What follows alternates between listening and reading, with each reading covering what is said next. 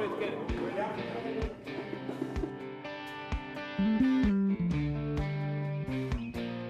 I like my nose. A little small, but I like it. It's okay. I'm just thinking about the child in me that I'm sometimes feeling inside.